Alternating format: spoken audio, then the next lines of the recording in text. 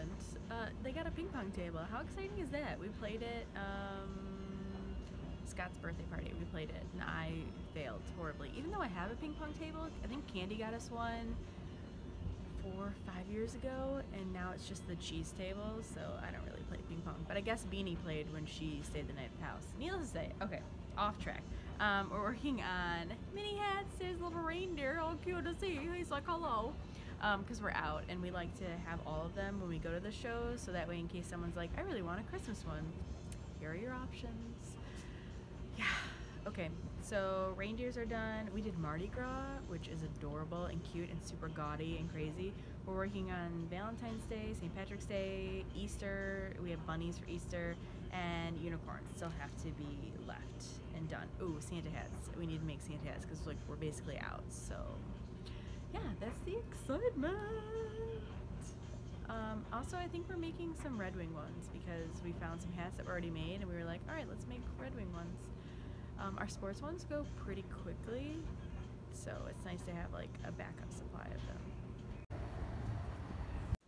I just got back from shopping around, ran to Hobby Lobby and to, what is it, Pier 1? Yes, uh, because I had to get some stuff for mini hats from Hobby Lobby and I needed to go pick up dinner but at 4 o'clock and it wasn't 4 o'clock yet so I was kind of waiting. Dinner I got from Celebrity Chef, Samson I'll feed you in a second, Celebrity Chef um, Matt.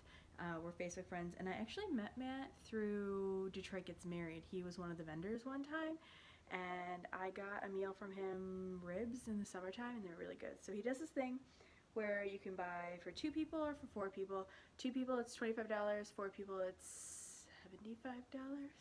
No, two people it's 50 something dollars. Anyways, I bought for two and tonight's meal was Swedish meatballs, green beans, salted caramel brownies with a pretzel crust, and also a spinach strawberry salad with candied almonds. Carly and Kayla I have a talent show tonight, and uh, I'm here to support them. They're number 21. I can't wait, it's gonna be great. So I have to go through 21 people before I see them.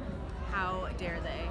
But there's 36 altogether, so let's do this. Yes, Milan is before. Good, and then that's first I know, that's what I'm saying. Milan's great.